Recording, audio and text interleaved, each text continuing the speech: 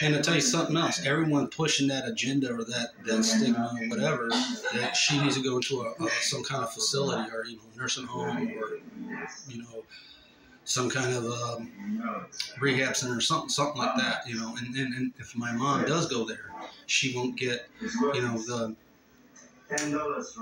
you know that alimony money that I'm working on for her. You know, and that's kind of what I want to do with her or for her. Um, while she's still living, you know, and then, and then, and then go try and enjoy it, you know, enjoy life. You know, get us a nice house or something if we don't already have one. Um, but if we already do get a nice house, I would take her on trips, go see Elvis's place, you know, and then go to Disneyland, you know, down there in Florida, Disney World, whatever they call it, and then go to the, you know, Bahamas, um, and then maybe uh, Six Flags, the zoo, and all these places, you know, just get, you know, my brother too, if he's with us, you know, my autistic brother. Um, you know, just go, you know, see all these different places and enjoy what time I got left with my mom.